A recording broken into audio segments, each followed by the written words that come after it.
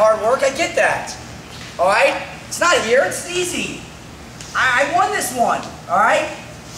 We're here. He's got the head position. All right? So I can't go into him. I can't throw it up to a single. I can't go underneath here.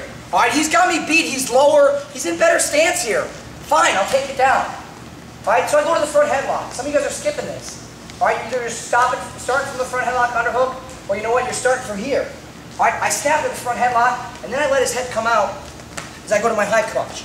All right? It's a setup. What I want you guys to do is feel the transition. Don't force something that's not there. His weight's going down now. He's pressuring down. That's fine. I'll take him down. All right? Now I get to the front headlock. He's raising up. That's fine. I'll let him go out. I'm taking what he's giving me. I'm not forcing things. You get in the forcing things, life, wrestling gets really hard. Take the path of least resistance.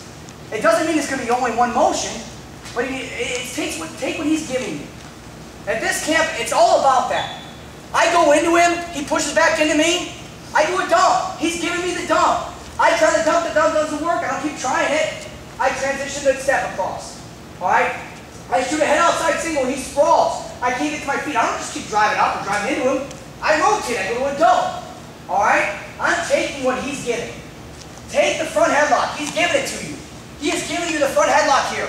Take it. Alright? Now he's giving you the high crotch because he's raising up. Take it. Alright? Just take what he's giving you. That's all I want you to do. Let's try it again. One, two, three.